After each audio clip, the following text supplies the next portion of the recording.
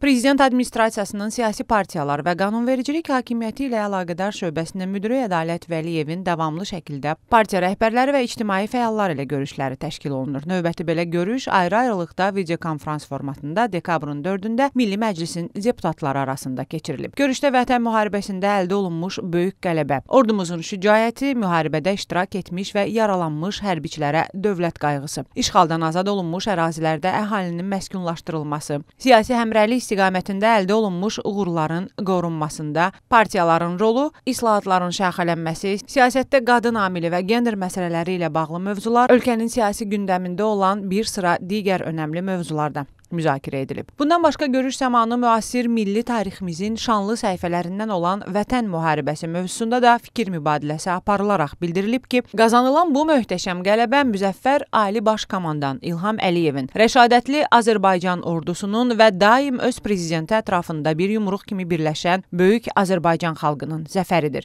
Cəmi 44 gün ərzində aparılmış döyüşlər nəticəsində ölkəmiz malik olduğu hərbi qüdrətini və iqtisadi gücünü bütün dünyaya aşkar şəkildə nümayiş etdirdi. Sonda Ədalət Vəliyev vurğulayıb ki, düşmənin mülki əhalini atəşə tutmasını da unutmaq olmaz və bu cür faktları beynəlxalq ictimaiyyətin diqqətinə çatdırmaq prinsipial vəzifədir.